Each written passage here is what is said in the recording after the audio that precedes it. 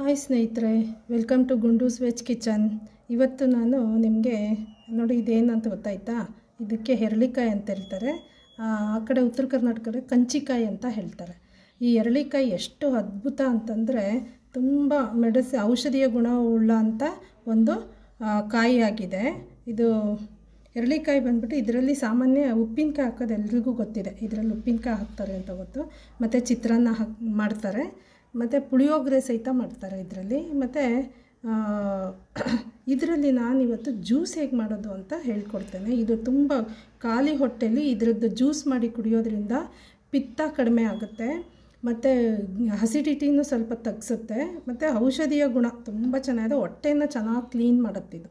Morning ನಾವು ಇದು ಕುಡಿಯೋದ್ರಿಂದ ನಾವು ಮುಖನ ಎಷ್ಟು ಕ್ಲೀನ್ ಮಾಡ್ಕೊಳ್ತೀವೋ ಅಷ್ಟೇ ಇಂಪಾರ್ಟೆಂಟ್ ಅದಕ್ಕಿಂತ ಇಂಪಾರ್ಟೆಂಟ್ ನಾವು ಹೊಟ್ಟೆನ ಪ್ರತಿದಿನ ಶುದ್ಧವಾಗಿ ಇಟ್ಕೊಳ್ಳೋದು. ಸೊ ಆದ್ದರಿಂದನೇ ಖಾಲಿ ಹೊಟ್ಟೆಲಿ ಈ ಥರದ ವಿಟಮಿನ್ ಸಿ ಮತ್ತು ಇದು ವಿಟಮಿನ್ ಸಿ ತುಂಬ ಇದೆ, ಹೇರಳವಾಗಿದೆ.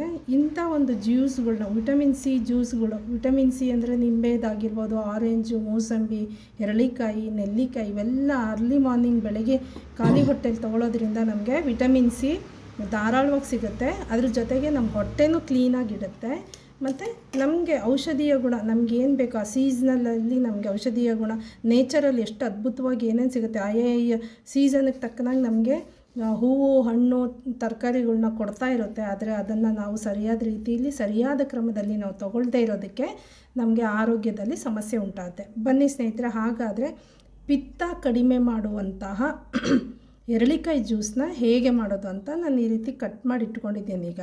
ಇದನ್ನು ಹೇಗೆ ಮಾಡ್ತೇನೆ, ಅದಕ್ಕೆ ನಾನು ಇಂಗ್ರೀಡಿಯೆಂಟ್ಸ್ ಏನೇನು ತೊಗೊಂಡಿದ್ದೀನಿ ಹೇಳ್ಬಿಡ್ತೇನೆ.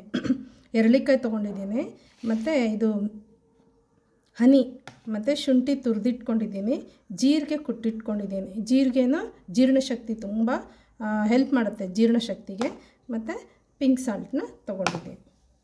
ಈಗ ಹೇಗೆ ಮಾಡೋದಂತ ಹೇಳ್ತೇನೆ. ಮೊದಲಿಗೆ ಬಿಸಿನೀರು ತೊಗೊಳ್ತಾ ಇದ್ದೀನಿ ನಾನು ಇದಕ್ಕೆ. ಎರಡು ಗ್ಲಾಸ್ ಆಗುವಷ್ಟು ನಾನು ಜ್ಯೂಸ್ ಮಾಡಿ ನಿಮಗೆ ತೋರಿಸ್ತೇನೆ. ಎರಡು ಗ್ಲಾಸಿಗೆ ಎಷ್ಟು ಬೇಕಂತ.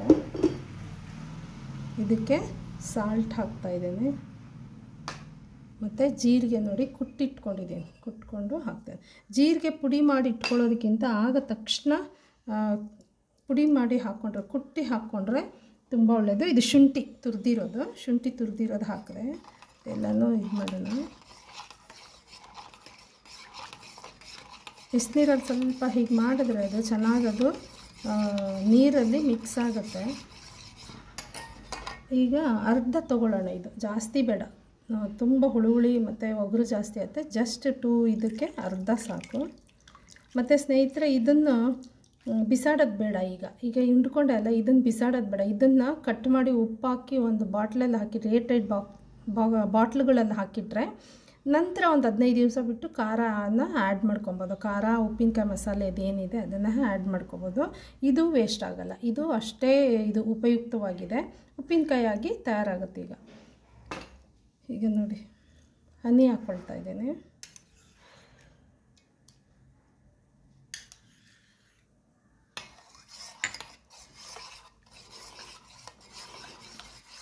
ಚೆನ್ನಾಗಿದು ಒಂದು ಎರಡು ನಿಮಿಷ ಮಿಕ್ಸ್ ಮಾಡಬೇಕಾಗತ್ತೆ. ಮತ್ತು ಇದು ಕೆಲವು ಎರಳಿಕಾಯಲ್ಲಿ ತುಂಬ ಜ್ಯೂಸಿ ಇರುತ್ತೆ. ಸೊ ನೋಡಿಕೊಂಡು ಹಾಕ್ಕೊಳ್ಳಿ ರಸನ. ಪೂರ್ತಿ ಅರ್ಧನೂ ಹಾಕ್ಕೋಬೇಡಿ.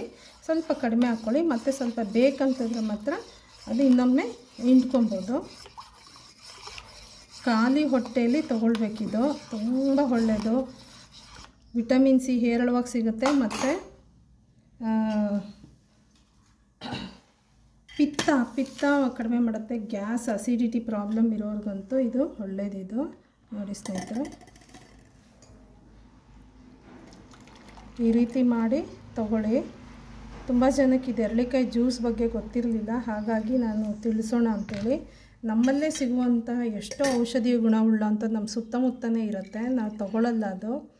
ಸೊ ಇದು ಒಮ್ಮೆ ನೀವು ಟ್ರೈ ಮಾಡಿ. ತುಂಬ ಟೇಸ್ಟಿಯಾಗಿರುತ್ತೆ. ಟೇಸ್ಟಿಯಾಗೂ ಇರುತ್ತೆ, ದೇಹದ ಆರೋಗ್ಯಕ್ಕೂ ಅಷ್ಟೇ ಒಳ್ಳೆಯದು ಯಾವತ್ತು ನಾವು ಆರೋಗ್ಯಕ್ಕೆ ಏನು ಒಳ್ಳೆಯದು ಅದನ್ನೇ ತೊಗೊಂಡು ಆರೋಗ್ಯನ ಕಾಪಾಡ್ಬೋದಲ್ವ ಸ್ನೇಹಿತರೆ? ನೋಡಿ ಎರಳಿಕಾಯಿ ಜ್ಯೂಸು ರೆಡಿ ಆಯಿತು. ನೀವು ಮಾಡ್ಕೋತೀರಲ್ಲ ಸ್ನೇಹಿತರೆ, ತುಂಬ ಚೆನ್ನಾಗಿರುತ್ತೆ.